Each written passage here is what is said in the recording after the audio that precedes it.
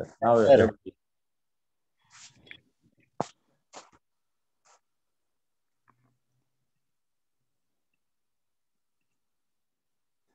How about that? Yes, okay, Pastor. Okay, sorry about that. I uh, realized my battery was going down, so I had to quick hook up the computer so I wouldn't run out of battery. Let's pray. Father in heaven, I want to thank you that uh, we're able to come together for a few minutes again this morning in India. And I just ask that the Holy Spirit would be very present, speaking, Father, and, and, and encouraging us and helping us, Father, to understand what goes on in our lives. So make me, Father, your worthy representative. In Jesus' name I pray. Amen. Amen. Many years ago, now I, I guess it would have been maybe around 2000, so that goes back quite a ways. Uh, maybe more than 20 years ago, I was asked to uh, speak for a camp meeting in Michigan on prayer, and I was certainly willing to do that. Uh, I had been uh, uh, the head of the prayer meeting at the Pioneer Memorial Church, and uh, and doing a lot of prayer with people, and been asked to speak in prayers, and and so a pastor asked me if I would, you know, give a short talk on prayer, and I was willing. But before the camp meeting began, I became aware of some young women who had come together to pray for a husband who had uh, left with another woman uh, obviously causing all kinds of heartbreak and problems for the family. And these uh, two married women, younger married women, decided that they would pray until that errant husband came back. And praise God, they were praying. It was actually on a Sunday that they began praying. And they fasted and prayed that day. And, you know, at some point in the evening, uh, one of the, the, the women said to the other, You know, I just feel in my heart that God has answered our prayers. And we, we can thank the Lord for what he's done and go home. And sure enough, the next day the husband came home repentant. It was a, an amazing miracle. And it struck me that instead of my taking the time at camp meeting, I really should uh, uh, allow uh, these uh, two ladies to share their testimonies. And I remember that I was challenged by someone, which was a bit surprising. They said to me, uh, Dan, why would you share those kinds of stories? Because you're going to give people false hopes that if they have problems, they can pray and, and, and God will, will deal with their, their problems. And I felt very sad about that because I really believe that God has given us a gift in prayer uh, that really will yield uh, a great deal. Now, in the book of James, James chapter, um, you know, it, it, talk, it, it talks about, it, it, asks the question, you know, why we don't have.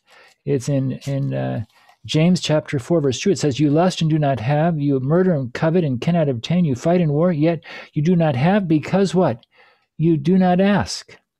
You ask and do not receive because you ask amiss. And so we're strongly, strongly encouraged that we should be praying.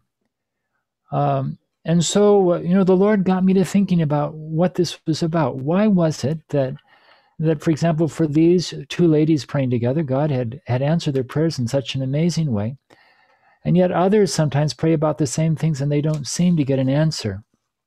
And um, the Lord for whatever reason, and, and I cannot explain how it happened, the Lord impressed me deeply with the story of the Exodus from Egypt. And it's, a, it's something that I've thought about very much ever since then.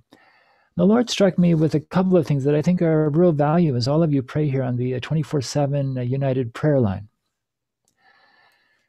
When you look at the story, first of all, it helps to understand that when they came with Joseph, that would have been more than 200 years before, they came at the invitation of Pharaoh. He was deeply grateful for uh, the work that Joseph had done in protecting their country from a terrible famine. And so they came and they were settled in, in Ramses, the land of the Pharaohs, the best land in all of Egypt. And in gratitude for what Joseph had done, they lived there tax free. They had the best living of, of anyone. They lived there tax free for over 200 years. And because uh, Joseph had said that they were shepherds, they were they were given a, a, place where they weren't really bothered by other people. And this was all at God's work, and they were given kind of a secluded place. And there they were for for several hundred years. But eventually, the prophetic clock was moving towards their departure, and and uh, and they during that time had become more Egyptian really than they were uh, followers of God, as they would need to be back in the Promised Land. And so God allowed at that time a Pharaoh to come along that didn't know Joseph. He was paranoid and he worked very, very hard to uh, make their lives more difficult because he wanted to weaken them and he wanted to cause them to be weaker so that they could never get some crazy ideas in their minds to take over the country. And so there was first uh, a, a, a, work. They, the men were, were put into slavery, and then because that wasn't working too well, then later they they killed the baby boys. Uh, he was going to do anything and everything to to to dispirit them and weaken them. But instead of that, you know, God still blessed them. But that went on for at least 80 years because Moses was with the, the, the, court of Pharaoh for at least 40 years. And then he went to the wilderness in Midian for 40 years where he got married and, and later would come out of Midian. And so there was at least 80 years when the women were watching their husbands go off as slaves and, and were, were seeing baby boys being killed. A terrible, terrible, horrifying thing. But nothing changed for a long time. And, and God deeply impressed me with something I'd like to share with you this morning. And that was that they were praying, Lord, bless me in Egypt prayers. They were praying, uh, Lord, we like it here. We like life in Ramses. We like tax free living. We like all the advantages we have. We like Egyptian food. We like our Egyptian houses. We, we like our Egyptian entertainment. We like all of those things. Please deliver us from this slavery. Help us to go back to the happy times we had before.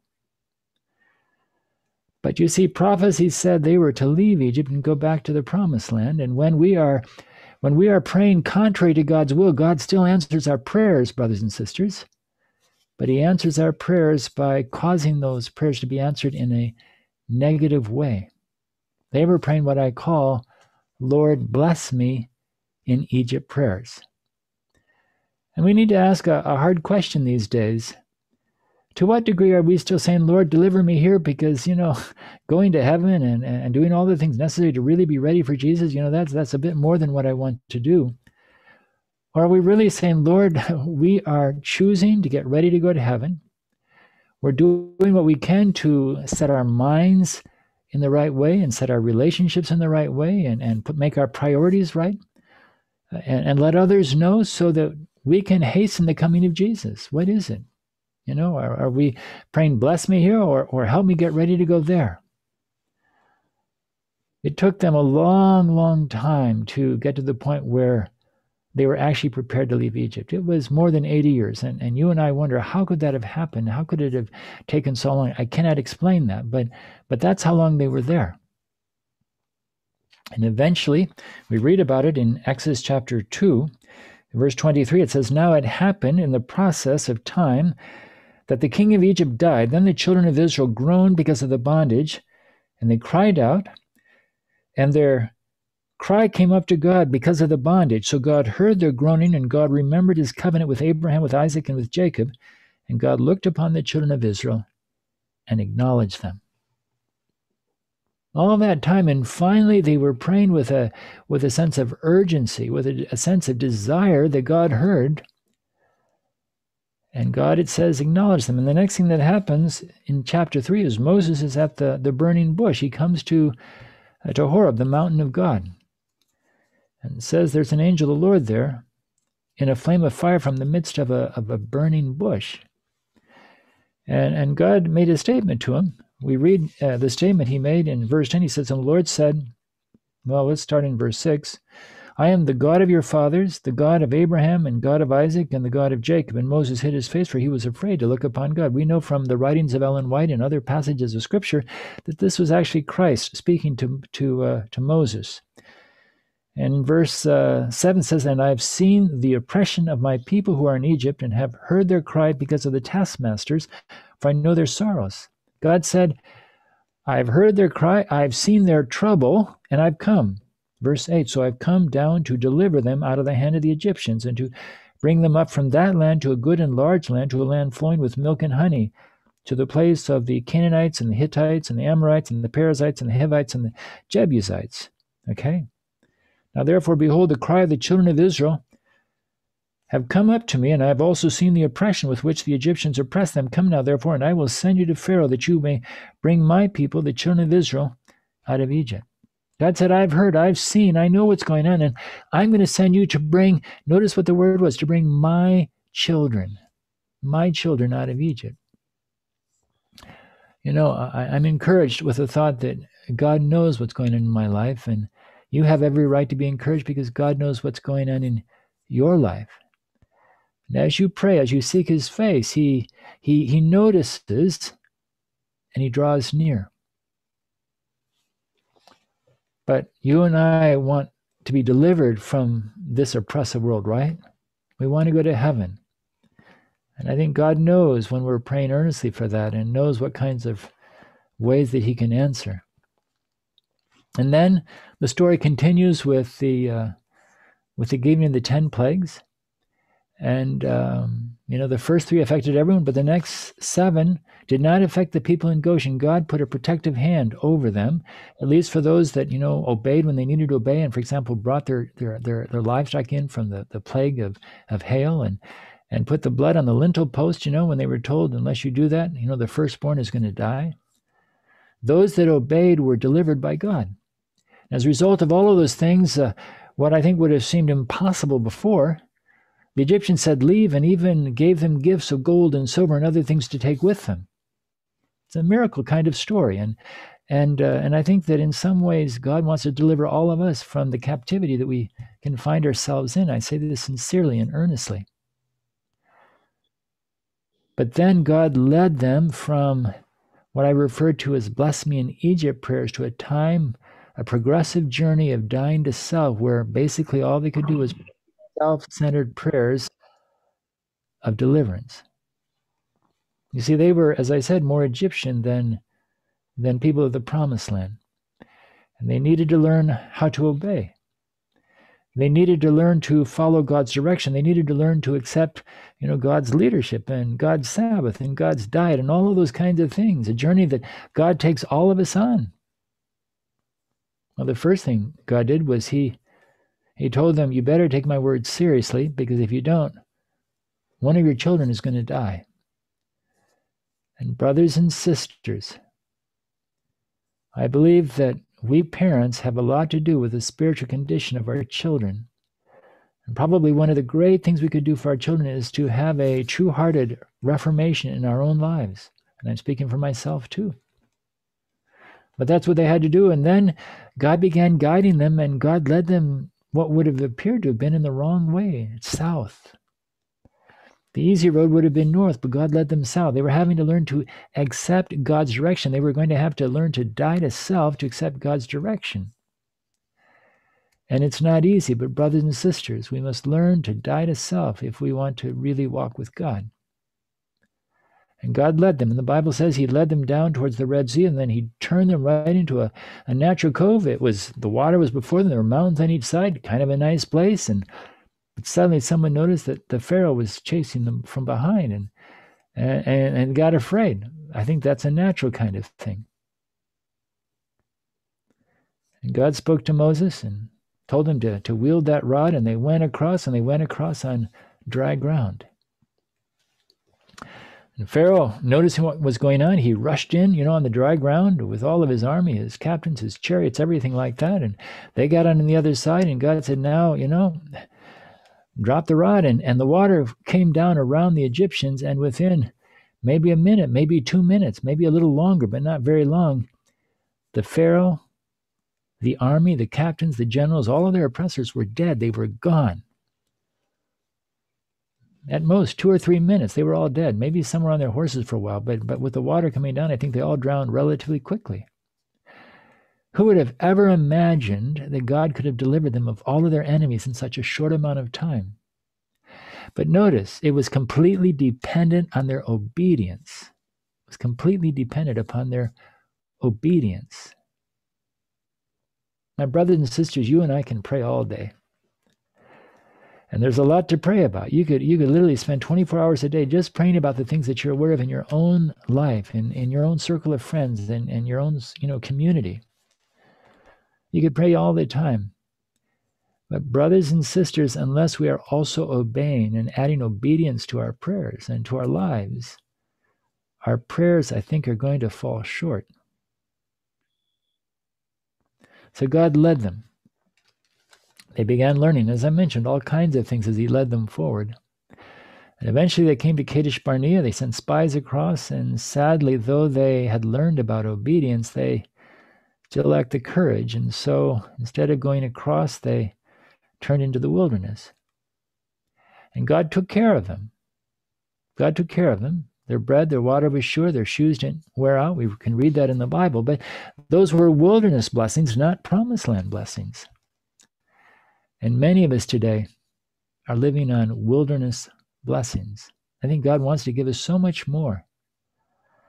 But unless we're really prepared to obey, God can't do it. And so they spent, you know, the, uh, the remaining time to fill out 40 years before they finally got to the point where they were prepared to, to cross the river and, and take Jericho. And when they did, uh, you know, they had been exercising by that point. They developed their own battering rams. They had, you know, a good army all trained. No, none of that. Uh, it was the strangest conquest that the Canaanites had ever seen. They just kind of went across and they followed this ark and they, they went around seven times, you know, one time each day, quietly, no noise. The next day, like around the city again, no noise. Next day, another time, no noise. They did this six times. And the seventh day, they went around, I think, seven times. And then at the end, they cried and blew the trumpets. And, and guess what? God brought the walls down. When they were prepared to obey, to persist in obeying, to, to obey specifically the way that God said, without any complaining, there was silence. God was able to win a great, great victory in their lives.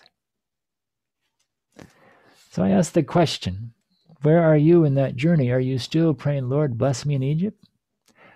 Are you somewhere on that journey of dying to self, struggling to say, well, you know, should I obey about, you know, the health reform? What about the Sabbath? Uh, you know, should I really try and come into into a good relationship with other people? You know, or or and, and stop complaining. Those are the things that that that those people had to learn to do in the wilderness, and and they wouldn't have needed to learn it there. They could have moved right across had they been willing to obey. Now, here's some things to think about. They're very sobering things. Number one, they spent 80 years before they finally decided that they had had enough of Egypt. I believe God is giving us all good reason to be tired of this world Brothers and sisters, do all you can to prepare for Jesus to come. Do all you can. Don't don't be lingering you know, by the flesh pots of this world and by the, the diet of this world and the entertainment of this world, because if you do that, you'll be like Lot's wife. You'll be looking back and you may never get out. And then when God says to obey, obey. There's no substitute for obeying. Now it's interesting. God delivered them out of Egypt when they finally left, you know, uh, the country, and they went to the south. And God delivered them from their enemies at the Red Sea. But the biggest problem was not their enemies. It wasn't even the Egyptian oppression when they were slaves. The biggest problem they had was themselves. And that's why they stayed there for 40 years. And that's why, of all the people that left, only two, Caleb and Joshua, actually crossed over into the promised land, you know, of the original people that left. Now, I can't speak for you. I can only speak for myself. But Brothers and sisters, by the grace of God, we must not only pray, we must live in the way that God can answer those, those prayers. And we must live in such a way that those we're praying for will see that there's something real about uh, the Christianity that we, that we follow. And so, as uh, my brother Prabhu said, not only, you know, prepare for the Sabbath by your cleaning your houses, but your hearts, your relationships, everything about your life. And I need to do the same thing. God is able to win great victories. He'd like to win them quickly. He'd like to deliver us. He'd like to rescue us from this planet. So, in your praying, pray earnestly, pray persistently, pray fervently, but then go live earnestly and sincerely and persistently and fervently the life so that God can truly bless your prayers in every way. Let us pray. Father in heaven, this story is rubs close to home. Truth be told, Lord, a lot of us are not happy with the current situation because, Lord, you know, it used to be better than it is now, and it's getting harder. Truth be told, Father, this is a toxic planet. It's it's wasting away. It's deadly to stay here too long. But we've fallen in love with that which is deadly. Drive the love of this world completely out of our hearts. Draw us into such a relationship with Jesus that we won't want anything else. Help us to turn away from the entertainment. Help us to turn away from the other distractions so that we're fully convicted and fully invested in you. And thank you, Father, that you can deliver us from our Egypts, Father. It may be plagues, but you can deliver us. And you can deliver us from our enemies like you did for the children of Israel at the Red Sea. But help us to realize, Father, that we are our biggest problem. Self. Self is the biggest problem. Please do a mighty work for each person here. And Lord, you saw the requests. I saw the, the chat requests. People with, with diseases and, and people needing jobs and, and all kinds of things. Answer all of those prayers, Lord. But please, Father, for all of us and for people all over the world in our church, bring a great revival of primitive godliness, of true godliness, Father. And might it start today with each one of us. Make this a great preparation day and an even better Sabbath day coming Thank you in Jesus' name with gratitude. Amen.